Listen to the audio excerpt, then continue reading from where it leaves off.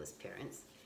Teens and young adults who are looking for a job may find themselves competing with hundreds of other kids, uh, maybe even thousands.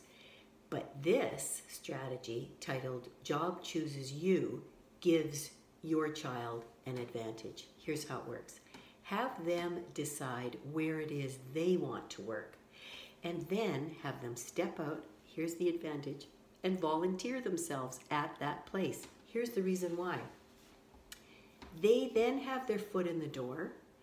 While they may be working for nothing uh, for the first little while, they will probably get hired on because they've now had a chance to prove themselves and their work ethic. So think about it like this. If you're an employer and you need someone to fill a position and you've got somebody right in front of you who has proven themselves, who shows up for work, who has this great work ethic, why wouldn't you hire them as opposed to looking at hundreds of applications, then calling in a bunch of people, taking the time to interview them, and you hire somebody and then you discover they were just all talk.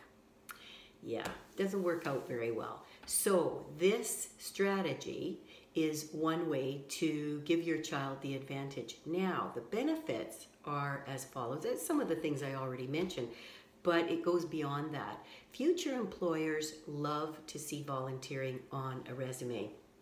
Colleges and university, they also like to see that as well.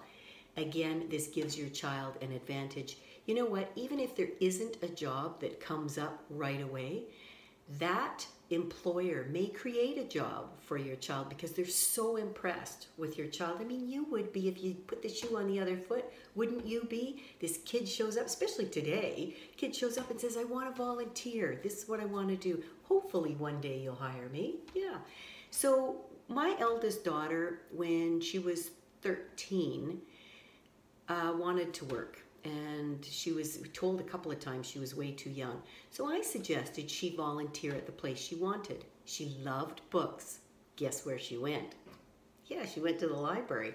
She got hired on within three months. Yeah, and my other daughter loved critters. Guess where she went? Yeah, the pet store. She got hired on too.